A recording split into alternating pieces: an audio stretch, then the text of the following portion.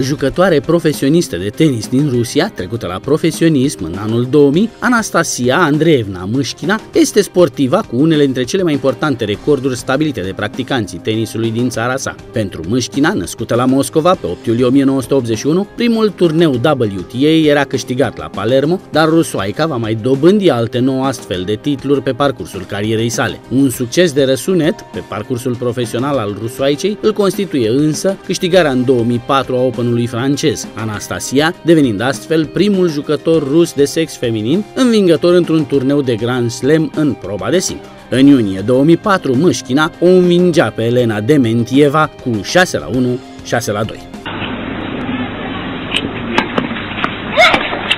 И все. Да, мяч уходит за заднюю линию, и Настя Мыскина становится победительницей. Она даже не могла, настолько она была взволнована, что она даже не смогла среагировать и обрадоваться. Я даже боюсь, что она бы даже не мечтали увидеть ее первой на таком значительном турнире. И я хочу поздравить их в первую очередь за их усилия. Их усилия оказались не напрасными. Теперь